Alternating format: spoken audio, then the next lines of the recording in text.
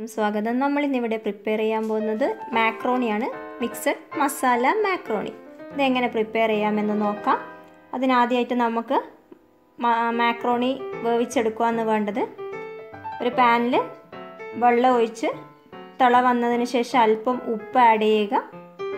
ഉപ്പ് ആഡ് ചെയ്തതിന് ശേഷം ഒരല്പം ഓയിൽ കൂടി ആഡ് ചെയ്ത് കൊടുക്കുക. വെള്ളത്തിന് അങ്ങനെ പ്രത്യേകിച്ച് അളവൊന്നുമില്ല. കൂടുതലായത് ഡ്രെയിൻ ചെയ്ത് കളയുകയാണ് ചെയ്യുന്നത് മാക്രോണിന്ന് അപ്പോൾ വെള്ളം അതിനനുസരിച്ച് എടുക്കുക.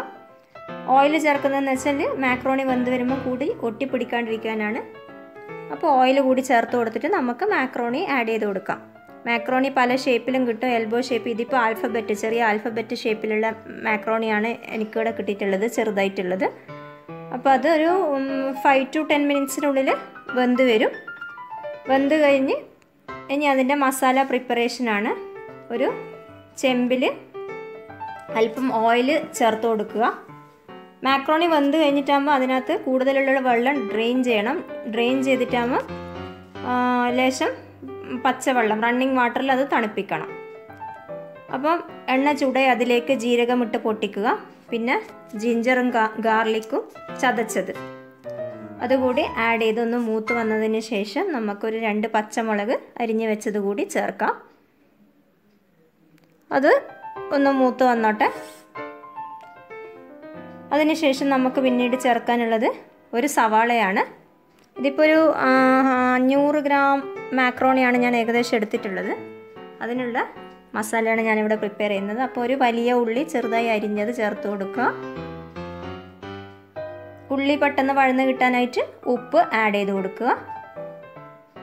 ഉപ്പ് കൂടി ചേർത്തതിന് ശേഷം നമുക്കിതൊന്ന് സോട്ട് ചെയ്യാം. നമ്മൾ നേരത്തെ മാക്രോണി വേവിച്ചപ്പോൾ അതിനകത്ത് ഉപ്പിട്ടിട്ടുണ്ട് പിന്നീട് മസാലയ്ക്ക് ആവശ്യമായ ഉപ്പ് മാത്രം മതി. നോക്കി ചേർത്ത് കൊടുക്കുക. ഉള്ളി ഒന്ന് സോട്ടായി വന്നിട്ടുണ്ട്.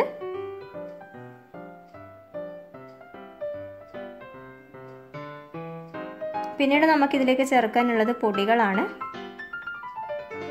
അര ടീസ്പൂൺ മഞ്ഞൾപ്പൊടി. ഒരു അര ടീസ്പൂണോളം മുളക് പൊടി. എരിവിനനുസരിച്ച് ചേർത്താൽ മതി. പച്ചമുളക് ചേർത്തിട്ടുണ്ട്. പിന്നീട് വേണ്ട എരിവിനനുസരിച്ച് മുളക് പൊടി ചേർത്ത് കൊടുക്കാം ഒരു ഒരു ടീസ്പൂണോളം മല്ലിപ്പൊടി. പിന്നീട് ഒരല്പം ഗരം മസാല. ഇത്ര കൂടി ഇത്രയും ചേർത്തിട്ട് ഗരം മസാലയും കൂടി ചേർത്ത് കൊടുത്തിട്ടുണ്ട്. ഗരം മസാലയും കൂടി ചേർത്ത് നമുക്കതൊന്ന് മിക്സ് ചെയ്തെടുക്കാം. പൊടികളുടെ ഒരു പച്ചമണം മാറുന്നവരെ ജസ്റ്റ് ഒന്ന് സോട്ട് ചെയ്യാം പിന്നീട് നമ്മൾ ഇതിലേക്ക് ചേർക്കുന്നത് അരിഞ്ഞു വെച്ച തക്കാളിയാണ്. തക്കാളിയല്ല അരിഞ്ഞു വെച്ച ക്യാരറ്റ്. ചെറുതായി അരിഞ്ഞ ക്യാരറ്റ് ആണ് നമ്മൾ ചേർത്ത് കൊടുക്കുന്നത്. ക്യാരറ്റ് ചേർത്തു. പിന്നീട് ബീൻസ് നേർത്തതായി അരിഞ്ഞ ബീൻസ് ചേർത്ത് കൊടുക്കാം. നിങ്ങൾക്ക് വേണമെങ്കിൽ ഗ്രീൻ പീസും കൂടി ചേർക്കാം. ഞാനിവിടെ ചേർക്കുന്നില്ല. അതൊക്കെ ഓപ്ഷണലാണ് പച്ചക്കറി എന്ത് വേണമെന്നുള്ളത് ഓപ്ഷണലാണ് അല്ല ക്യാപ്സിക്കം വേണമെന്നുള്ളവർക്ക് ക്യാപ്സിക്കം ചേർത്ത് കൊടുക്കാം. ഇപ്പം ഞാനിവിടെ ക്യാരറ്റും ബീൻസ് മാത്രമേ യൂസ് ചെയ്യുന്നുള്ളൂ.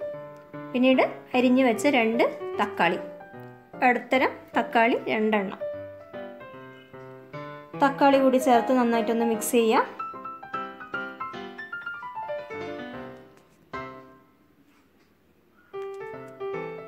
മസാലയൊക്കെ എല്ലായിടത്തും എത്തുന്ന രീതിയിൽ മിക്സ് ചെയ്തിട്ട് നമുക്കിതൊന്ന് ജസ്റ്റ് അടച്ച് വെച്ച് കൊടുക്കാം. തക്കാളി ഒന്ന് സോഫ്റ്റായി കിട്ടാൻ വേണ്ടിയിട്ടാണ്.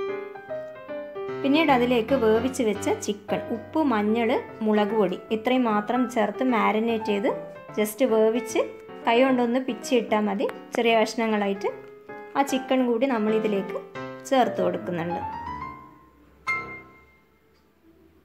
ഉപ്പ് മഞ്ഞൾ മുളക് ഇത് മൂന്നും ചേർത്ത് ഒരു പത്ത് പതിനഞ്ച് മിനിറ്റ് മാരിനേറ്റ് ചെയ്തിട്ട് പിന്നീട് വേവിച്ചെടുത്ത ചിക്കൻ. അത് കൈകൊണ്ട് ഇങ്ങനെ പിച്ചിയിടുക പിന്നീട് നമ്മൾ ഇതിലേക്ക് നേരത്തെ വേവിച്ച് വെച്ച മാക്രോണി ആഡ് ചെയ്യാൻ പോവാണ്.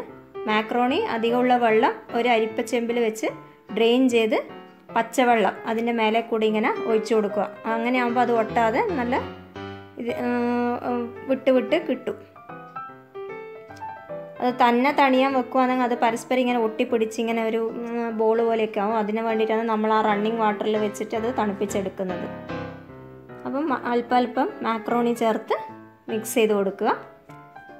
മസാല എല്ലാം എടുത്ത് എത്തുന്ന രീതിയിൽ മിക്സ് ചെയ്യാം. പിന്നീട് നമ്മൾ ഇതിലേക്ക് ചേർക്കുന്നത് സ്ക്രാമ്പിൾഡ് എഗ്ഗ് ആണ്. ഉപ്പും കുരുമുളക് പൊടിയും ചേർത്ത് ചിക്കി പൊരിച്ചെടുത്ത ഒരു രണ്ട് മുട്ടയും കൂടി നമ്മൾ ഇതിലേക്ക് ചേർക്കുന്നുണ്ട്. ആ സ്ക്രാമ്പിൾഡ് എഗ്ഗും കൂടി ചേർത്ത് നന്നായിട്ടൊന്ന് മിക്സ് ചെയ്ത് കൊടുക്കുക.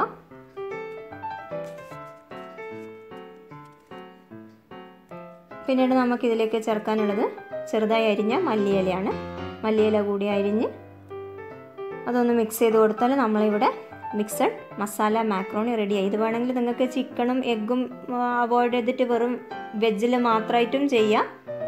അതാണ് ഞാൻ ഈ മിക്സഡ് എന്ന് പറയുന്നത്. ഞാനിപ്പം വെജീസും ചിക്കനും മുട്ടയൊക്കെ വെച്ചിട്ടാണ് ചെയ്തിട്ടുള്ളത്. നല്ല ടേസ്റ്റാണ് എല്ലാവരും ട്രൈ ചെയ്ത് നോക്കുക.